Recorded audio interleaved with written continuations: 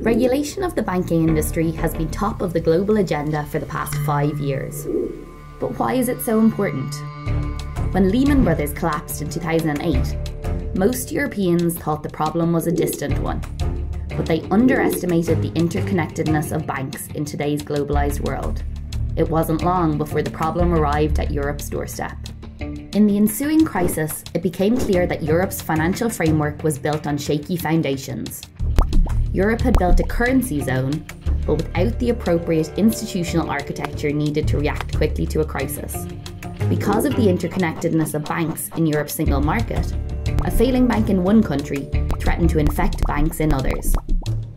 And because bank debt was heavily linked to government debt, what began as a banking crisis soon became an economic crisis.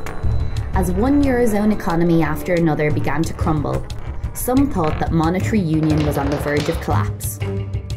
Various solutions were proposed, but it was clear that Europe was simply plastering over the cracks.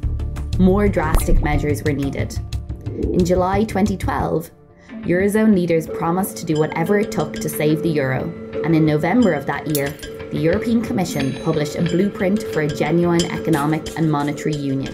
One part of that blueprint was the banking union, designed to finally break the link between countries and their banks. The first pillar of the banking union was a single rulebook for European banks, designed to harmonise banking regulation across the European Union. The second pillar was the single supervisory mechanism, to supervise banks in the Eurozone and spot problems before they got too big to solve. The third pillar was a single resolution mechanism to close down troubled banks in an orderly fashion and to minimise the cost to the taxpayer. The fourth pillar was a common deposit guarantee scheme to protect savers and ensure that depositors are treated equally in all EU countries.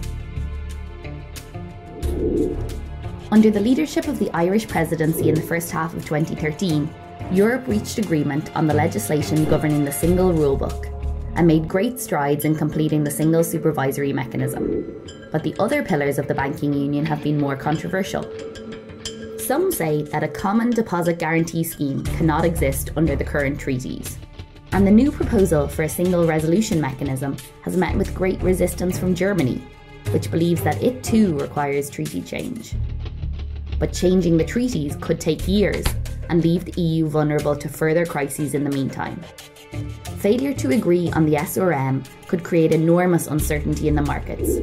The negotiations in the coming months will be crucial in determining whether Europe builds a steel framed banking union or a timber framed one.